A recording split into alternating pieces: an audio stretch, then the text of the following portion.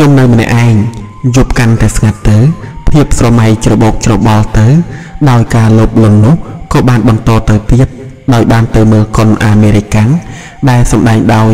ទូសនវ៉ែនកំពុងជិះលើខ្នងសេះដកកំភ្លើងរើវល់វែយ៉ាងរហ័សបាញ់ពួកចោលប្លន់ឲ្យស្លាប់រត់ចោលគ្នាហើយតមកយើងទៅសម្រាប់នៅក្នុងសន្តាគារនៅព្រៃនគរពី3ម៉ោងសាសងជាមួយនារីខ្មែរក្រោម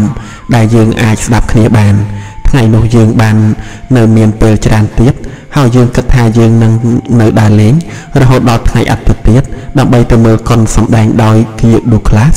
ដែលតួធ្វើជាមេចៅសមុទ្រនិងសាលតុនហេស្កុននៅក្នុងរឿងមេបញ្ជាការទាំង10និងរឿងប្រវត្តិសាស្ត្រព្រះយេស៊ូវរឿងបេនហៀតាមភាពស្រមៃការពិតដែលជាអតីតប្រវត្តិពិតរបស់ខ្ញុំ ថាជាការយល់សុបិនឬថាជាការនឹករលឹករឿងដើមក៏បាននោះវាហោះហើរវឹងទៅមួយស្របក់ទៅភ្នាក់កន្ត្រាក់ព្រឹតឡើង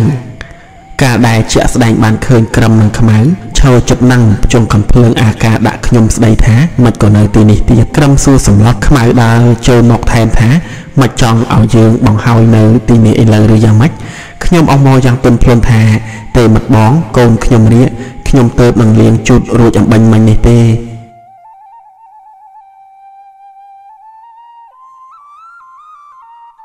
ក្រឹមនឹងខ្មៅជាអ្នកយកព័ត៌មានឲ្យពួកបពាទូបីរោនឹងកិននិងពួកវាមួយចំនួនទៀតបានកិច្ចចូលព្រៃទៅហើយក្តីវាពីរអ្នកនៅមានមុខងារជាអង្គរៈដដែលចន្ទ្រាភ្ញាក់ភ័យញ័រភ្នែកព្រិលអស់បានចាក់ទឹកទៅក្នុងក្របកម៉ែលដៃម្ខាងទៀតឈោងចាប់កាន់កន្ទប់ចាស់ភ័យណាស់មិនហ៊ានងើបមុខទេគេឈួកមុខទៅក្រោមផ្លាស់កន្ទប់ឲ្យឧតារាហើយដាក់កន្ទប់ទៅក្នុងទឹកភក់ដើម្បីលាង ខ្ញុំក៏ចង្អុលទៅចន្ទ្រាបង្ហាញអាពីអ្នកនោះថា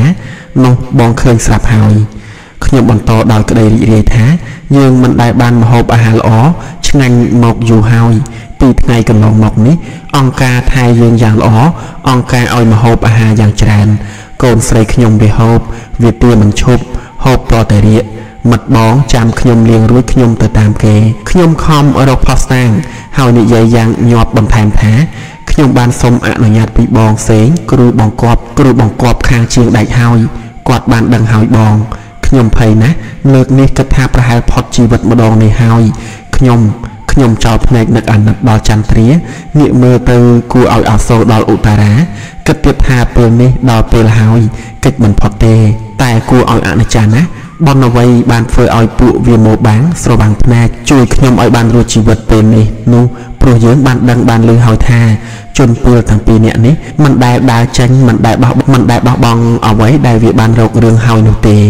គឺកាលណាវាទៅត្រង់ណាវាថាយ៉ាងម្ដេចគឺអញ្ចឹងហើយតាំងពីមុនមុនមកនោះម្ដងនេះពួកវាទាំងពីរហាក់យល់ហាក់ទទួលស្គាល់ថាការដែលខ្ញុំបានភូតកុហកថាបានអនុញ្ញាតពីមិត្តផ្សេងនោះពួកវាក៏ស្របតាមមែនតែរំពេចនោះពួកវាមិនទាន់ទៅណាទេវានៅឈរសំឡក់ទៅចន្ទ្រាសំឡក់មកខ្ញុំរួចទៅឧតារាទៅដើរចេញទៅ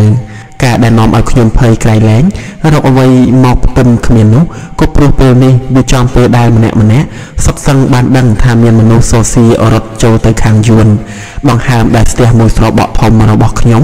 បានចាប់ដើរបានភូឡើងវិញអស់ចាណាស់វាមានហេតុមានផលមួយដែរក្រឹមនឹងខ្មៅបានប្រគល់កាយជីវិតឲ្យទៅអង្គការទាំងស្រុង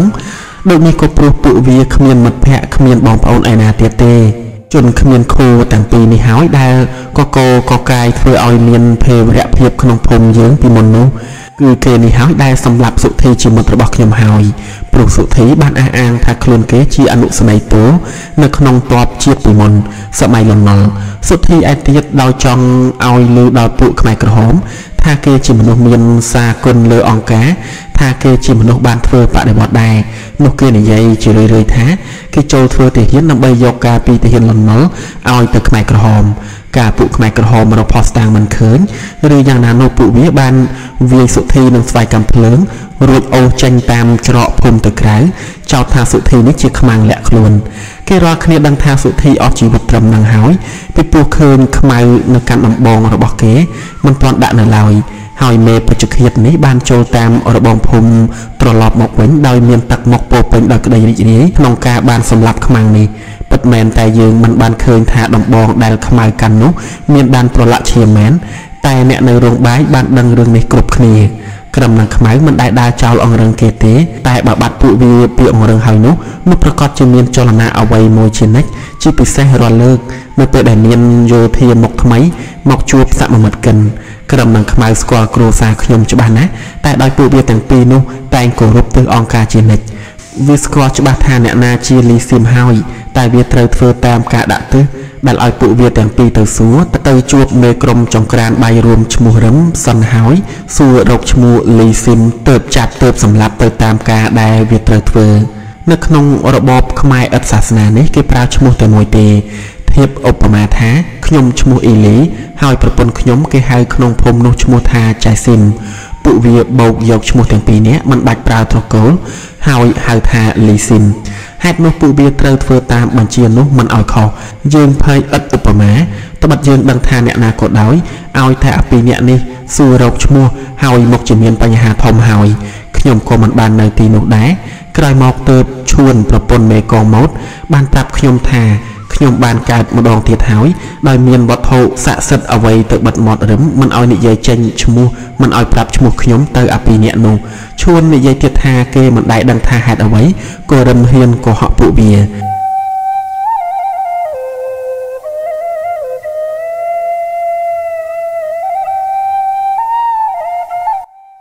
ដូចខ្ញុំបានរាយរាប់ពីខាងលើមកហើយថាពួកពេជ្ឈឃាតទាំងពីរនោះស្គាល់ខ្ញុំច្បាស់ណាស់ប៉ុន្តែជួនកាលនោះសំណាងផ្ដល់ឲ្យពួកពេជ្ឈឃាតជឿតាមពាក្យរឹមនោះទៅរឹមជានារីម្នាក់រូបរាងល្អស្អាតមានអាយុប្រមាណជាង40ចូលចិត្តស្លៀកពាក់ខ្មៅហើយត្រឹមត្រូវផងរឹមមិនជាមនុស្សអាក្រក់ហើយក៏មិនជាមនុស្សល្អអ្វីទេចំពោះគ្រួសារខ្ញុំ នៅត្រង់ចំណុចមួយដែលខ្ញុំរកឃើញមានគេនិយាយថារឹមដឹងថាខ្ញុំជាអ្នកធំម្នាក់ក្នុងរបបលន់នល់មិត្តរឹមមិនឃើញនិយាយបន្ថែមទៅអ្នកដទៃទៀតទេម្យ៉ាងកាលរឹមបានសម្គាល់ដឹងថាចន្ទ្រាមានស្បែកសជ្រះហើយតែមានគំនិតគិតយល់មានជំនឿថាចន្ទ្រាមិនដែលទាំងបានធ្វើការហត់នឿយម្ដងណាឡើយក្នុងជីវិតនេះមិនធ្វើអ្វីឲ្យខូចក្រចកមានឈ្នួលឈរចាំបំរើ មានអ្នកឈរចាំបើកទ្វារឡានជូននិងមានអ្នកទៅផ្សារឲ្យទៀតផងខ្ញុំដឹងថាគេបានស្គាល់គ្រួសារខ្ញុំយ៉ាងច្បាស់បន្ទាប់ពីបានរស់នៅជិតគ្នាជាង1ឆ្នាំមកនោះខ្ញុំចង់ថ្លែងអំណរគុណដល់មិត្តរឹមក្នុងករណីដែលបានកុហកលាក់ឈ្មោះខ្ញុំប៉ុន្តែដល់គិតមើលទៅវាហាក់ដូចជាគេមិនដឹងខ្លួនថាគេនិយាយថាមិនដេចផងខ្ញុំគិតទៀតថាវាដូចជាមិនឃើញមានសញ្ញាណាមួយបង្ហាញឲ្យដឹងថាគេរងចាំការអរគុណនោះក៏ទេដែរ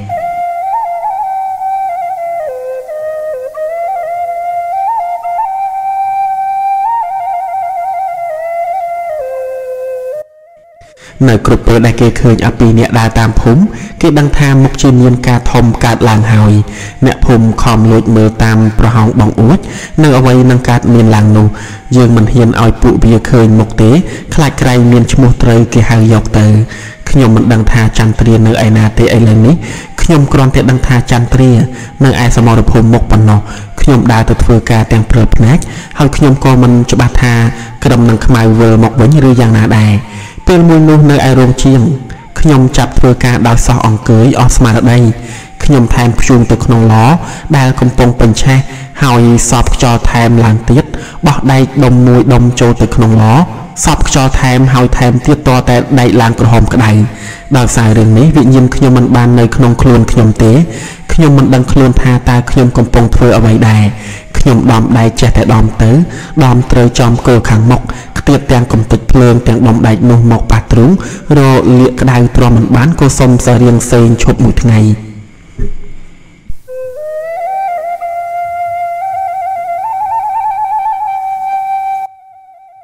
មុខជនទាំងពីរដដែលដែលខ្ញុំមិនអាចរាប់យកជាមិត្តបាននោះស្រាប់តែលេចមកឈរនៅពីមុខខ្ញុំគេថយក្រោយហើយស្ដោះទឹកមាត់ទៅដីខ្មៅចង្អុលមកខ្ញុំនិយាយថាមិត្តឯងត្រូវប្រយ័ត្នពេលយើងមកវិញបើយើងនៅទីនេះជនទាំងពីរនោះដើរចេញបាត់ទៅរួចខ្ញុំគិតឃើញម្យ៉ាងថា គេកំញាញខ្ញុំឲ្យខ្ញុំធ្វើតាមគេ ម្យ៉ាងទៀតខ្ញុំគិតថាសំណាងបានរួចរស់ជីវិតកាន់តែតិចទៅតិចទៅហើយ ពួកវាចេញយ៉ាងប្រញាប់ទៅងាកក្រោយមើលមកខ្ញុំខ្ញុំនឹកភ័យខ្លាចខ្លាំងណាស់ខ្លាចគេវិលត្រឡប់មកវិញមែនតែខ្ញុំគិតទៀតថាវាប្រកាសជាងាកក្រោយរំពៃមើលក្រែងឃើញស្រមោលវៀតណាមមកដល់តាមពីក្រោយពួកវាទេដឹង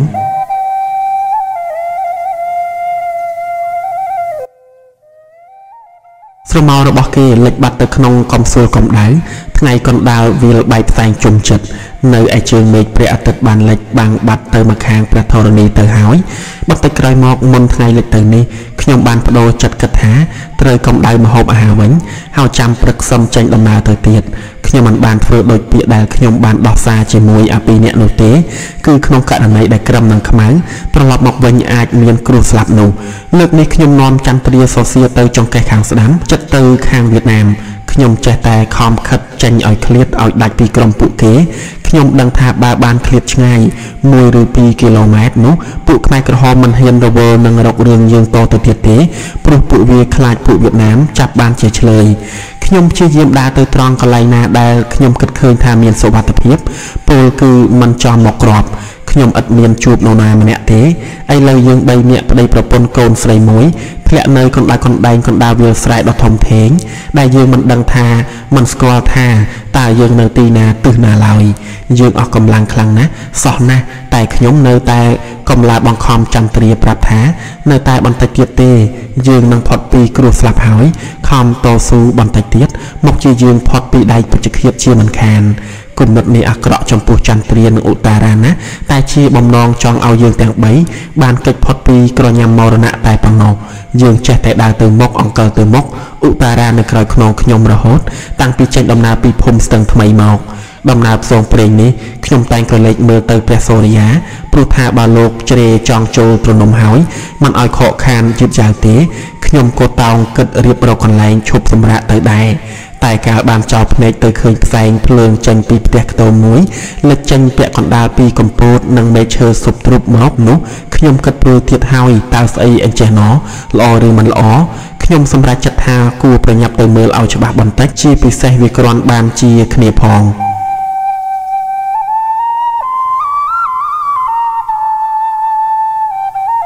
ពុទ្ធោព្រះម្ចាស់ថ្លៃ ដល់ទីនោះឃើញភ្ញាក់ខ្លួនព្រឺតអ្នកភូមិជាច្រើននិងបងប្អូនប្រពន្ធខ្ញុំត្រេកអររីករាយ ដោយបានឃើញពួកខ្ញុំមកដល់ជាមួយគ្នានោះគេបន្ទោសខ្ញុំថា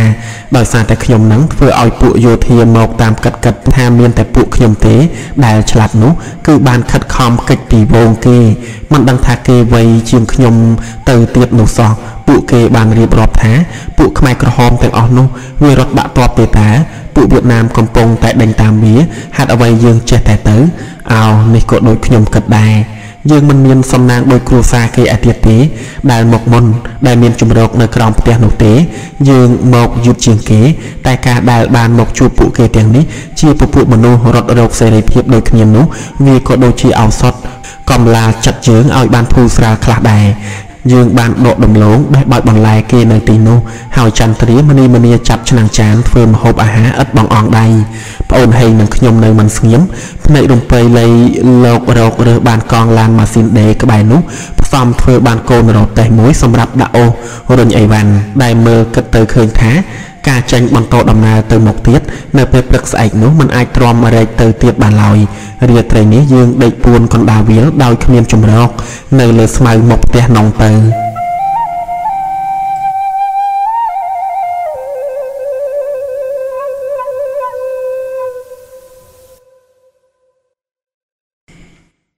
ព្រឹកឡើងយើងមើលឃើញពីចម្ងាយ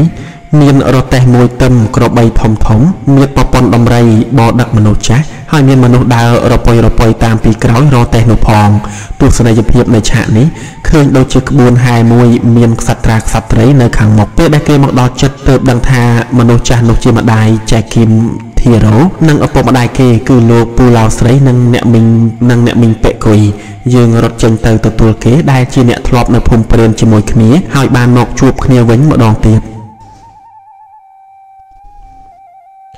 ព្រឹកនោះខ្ញុំមានអារម្មណ៍ហាក់ដូចជាកក់ក្ដៅក្រនបាជាងធម្មតាដែលនេះជាលើកទី1ក្នុងប្រហែលឆ្នាំមកនេះ ខ្ញុំបានជួបអ្នកដែលហុចម្ហូបអាហារដល់ខ្ញុំនេះក៏ជាលើកទី1ដែរដែលខ្ញុំបានឃើញអ្នកណា ដែលបានលះបង់ជំរុះចោលនៅអត្តតនភាពរបស់ខ្លួនចែកចាយរួមបាយទឹកជាមួយគ្នាយើងគិតថាមានសវត្ថភាពតែនៅព្រួយទៀតថាចលនាបដូរកន្លែងទៅមុខទៀតអាចជួបនឹងផលសំណាងអាក្រក់ក៏មិនដឹងគិតដូចនេះហើយមិនឲ្យខាត់ពេលយើងមិនទទួលទានស្រស់ស្រូបនៅទីនោះទេគិតថាចាំហូបចុកនៅតាមផ្លូវទៅខាងមុខ ពព្រោះយើងនៅភ័យខ្លាចក្រែងខ្មែរក្រហម វាត្រឡប់មកវិញ ដែលជារឿងរ៉ាវអាចកើតឡើងមើលមិនឃើញថាមិនត្រូវម្យ៉ាងទៀតវាជាលើកទី1កាលដែលយើងបានលើគេនិយាយអំពីពាក្យថាតំបន់សេរីដែលត្រួតត្រាដោយពួកវៀតណាមហើយបានលើពាក្យថាកងទ័ពរដ្ឋាភិបាល ភ្លាមនោះស្មារតីខ្ញុំឡើងខ្ពស់ដោយមានធម៌ពលពេញខ្លួនធ្វើឲ្យខ្ញុំខ្លាចខកខានឡានក្រោយចង្អៀតខ្ញុំខំឆ្លៀតឲ្យសមបំណងណាមួយក្រពះយើងក៏មិនទាន់ឃ្លានផងដែរយើងជាមនុស្សស្មោកគ្រោកក្រៅពីដំណេកមិនលុបមុខជាច្រើនឆ្នាំមកហើយព្រឹកនេះក៏ដូចជាព្រឹកមុនមុនខ្ញុំមិនរវល់លុបមុខអ្វីទេខ្ញុំប្រញាប់ដាក់ឧតារាទៅក្នុងរទេះក្នុងបំណងចេញដំណើរឲ្យបានពីព្រឹកវាត្រជាក់តែរឿងទៅមិនរួច កង់មិនវិលកង់វាតូចពេកធ្ងន់ពេកលិចកប់ទៅក្នុងដីខ្សាច់ខ្ញុំចាក់អង្គចេញខ្លះដើម្បីជួយសម្រាលទុកតែល្មមសម្រាប់ទទួលទានខ្ញុំបំរុងហូបបាយតាមផ្លូវតែពលឺសេរីភាពកាន់តែភ្លឺឡើងភ្លឺឡើងញ៉ាំងឲ្យយើងភ្លេចឃ្លានបាយលែងឲ្យហត់នឿយហៅហត់ដូចមុនទៀតហើយដែលមានមនុស្សខ្លួនទៅពេលខ្លះបាននិយាយជាហោហែថាតំបន់សេរីនៅឯត្រើយលឹមលឹមព្រៃខាងមុខនោះ ខ្ញុំពេញចិត្តនឹងកូនស្រីសម្លាញ់ណាស់ឧតារាគេនៅស្ងៀមស្ងាត់ល្អណាស់ឥតមានមាត់កយំយាយទេពិតជានាងយល់បានដល់ការសប្បាយរីករាយរបស់ឪពុកអ្នកម្ដាយរបស់នាងហើយ ឱកាសនេះនាងជាកូនស្រីល្អណាស់ដល់ពេលនេះខ្ញុំមើលទៅនាងមិនដាក់ភ្នែកអាណិតនឹកស្រណោះហើយនឹងស្រឡាញ់នឹងសេចក្តីសង្ឃឹមថ្មីធ្វើឲ្យខ្ញុំអអួលដើមកនិយាយមិនចេញតែម្នាក់ឯងនៅវាសនាដែលនឹងលាតសន្ធឹងទៅអនាគតអ្នកទាំងអស់គ្នានាំគ្នាឈប់បាយទឹកហើយគេប្រាប់ខ្ញុំថាកុំបាច់ប្រញាប់អី អស់ពួកខ្មែរក្រហមហើយដល់កន្លែងនេះគេប្រាប់ទៀតថាទីនេះត្រួតត្រាដោយរដ្ឋាភិបាលតែខ្សែការពារជួរមុខនៅតែពី3គីឡូម៉ែត្រទៅទៀតគេចង់ឲ្យទៅមាត់ព្រៃឆ្ងាយសន្លឹមខាងមុខឯណោះទើបខ្ញុំមានជំនឿថាបើយើងបានទៅដល់មាត់ព្រៃដែលគេចង្អុលបង្ហាញនោះនោះអារម្មណ៍ភ័យខ្លាចនឹងចប់ទៅតែក្នុងរយៈពេលពី3ម៉ោងប៉ុណ្ណោះហេតុនេះយើងត្រូវចេញដំណើរទៅមិនបាច់គិតពីបាយទឹកអ្វីទេថ្ងៃចាំងពីលើក្តៅខ្លាំងស្រែចម្ការធម្មជាតិ ធម្មជាតិចាប់ស្វិតស្រពោនក្រៀមខ្លួនយើងបែកញើសជោកតែយើងឥតខ្វល់ឡើយគិតតែរត់ទៅមុខបានទៅដល់ផ្លូវបំបែកមួយជួបនឹងក្រុមភៀសខ្លួនមួយក្រុមទៀតពេលនោះស្រាប់តែឃើញហួតជាប្អូនថ្លៃខ្ញុំលេចចេញមកហើយភ្ញាក់ស្រឡំកាំងរត់តម្រង់មករកពួកយើង យើងបានជួបគ្នាតាមព្រេងវាសនាពិតដូចជារឿងព្រេងនិទានខ្មែរដែលយើងធ្លាប់ស្ដាប់ធ្លាប់មើលធ្លាប់ឮការដែលមានសមាជិកគ្រួសារមួយដែលនៅសេសសល់មានជីវិតរស់នៅហើយបានជួបជុំគ្នាជាចុងក្រោយបែបនេះយើងមានសេចក្តីសប្បាយមិនអាចរកវត្ថុអ្វីក្នុងលោកមកប្រៀបស្មើបានឡើយចិត្តខ្ញុំលោតកញ្ជ្រោលម្នាក់ម្នាក់ទឹកភ្នែកហូរចេញឯងជួបផ្ពាល់ម្ដងទៀតទឹកភ្នែកអត្រេកដោយបានជួបគ្នានៅរស់រានមានជីវិតទឹកភ្នែកហូរចុះ ដោយក្តីស្ដាយសំណោះអាល័យប្រាសាទអ្នកម្ដាយបងប្អូនក្មួយដែលអស់ជីវិតទៅទាំងទុក្ខវេទនា ទៅតាមផ្លូវហួតរៀបរាប់អំពីដំណើរដែលវាបានរត់គេចខ្លួនពីមួយឆ្នាំមុននោះថាវាមានសំណាងដោយក្រោយពេលរដូវច្រូតកាត់ប្រមូលស្រូវរួចខ្មែរក្រហមចាត់ឲ្យវាទៅយាមស្រូវថាវាបានចែកស្រូវឲ្យទៅអ្នកភូមិច្រើនអ្នកហើយបានរាប់ឈ្មោះអ្នកដែលយើងធ្លាប់ស្គាល់រាប់អ្នកនេះអ្នកនោះជាហោហែជាមួយគ្នានោះដែរវាថាវាបានលួចស្រូវដាក់ក្នុងឡានក្របកំភ្លើងពេញហើយក៏ជីកកប់យ៉ាងជ្រៅទៅក្នុងដីដោយដឹងថាឆ្នាំក្រោយមកជាអត់បាយវានឹងជួបប្រទះការអត់ឃ្លានទៀតមិនខានហួតវាបញ្ជាក់ដែរថាធ្វើបែបនេះវាមានការព្រួយបារម្ភខ្លាចតែគេឃើញតែប៉ុណ្ណោះតែមិនអីដែរហួតបានប្រាប់យើងថាវាបានត្រូវខ្មែរក្រហមឲ្យជាឪពុកហើយសួរវាថាតើវាមានឃើញអ្នកណាលួចស្រូវដាក់ក្នុងឡានក្របកំភ្លើងយកទៅកប់ក្នុងដីទេហើយថាចាំពួកវាត្រឡប់មកពីបំពេញបេសកកម្មវិញវានឹងរកឲ្យឃើញមកចោលហួតថាលើដូចនេះវាក៏រត់ចេញទៅនៅសហគមន៍មួយទៀតអង្វរ ក៏សុំគេនៅជាមួយប្រធានសហគមន៍ចង់បញ្ជូនវាឲ្យត្រឡប់ទៅវិញវាក៏សុំអង្វរហើយអង្វរទៀតតតែបាននៅនិយាយពីនេះពីនោះមិនចេះចប់រឿងទេរហូតភ្លេចអស់ការនឿយហត់ដោយមិនដឹងខ្លួន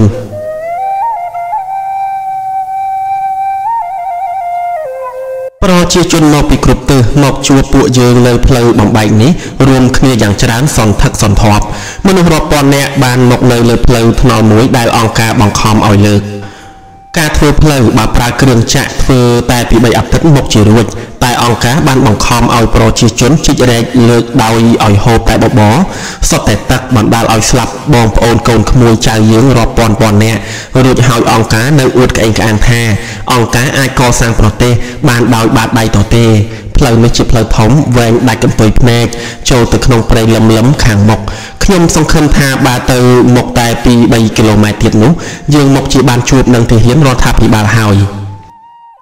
ខ្ញុំជឿច្បាស់ថាខ្ញុំប្រកាន់យកផ្លូវត្រូវហើយប្រហែលជាម៉ោង2រសៀលយើងបានទៅដល់ស្ទឹងមួយនៅទីនោះមានច្រកចូលតាមផ្លូវទៅមុខវត្តមួយដែលមានខ្លោងទ្វារឈើនៅត្រដែតនៅឡើយ ប្រជាជនញញឹមសើចនិយាយគ្នាលេងចំណែកខ្ញុំនៅតែចង់ដឹងថាដល់ទីមានសុវត្ថិភាពពិតប្រាកដឬនៅមានបរិមម្នាក់ប្រាប់ថាទីនេះមិនមែនជាទឹកដីខ្មែរក្រហមទៀតទេកុំព្រួយដាំស្លោហូបចុកទៅដាំស៊ីស៊ីដីទៅបានលើដូចនោះខ្ញុំបានធ្វើស្បោយពីទុកព្រួយដែលជិះជាន់ញោមញីមកយ៉ាងយូរនោះប្រៀបបានទៅនឹងជញ្ជាំងឋានសួគ៌ដែលបើកឲ្យយើងឡើងចេញពីឋាននរកដែលគេបង្ខំឲ្យយើងដេកត្រាំត្រែងអស់កាល4ឆ្នាំមកហើយនោះ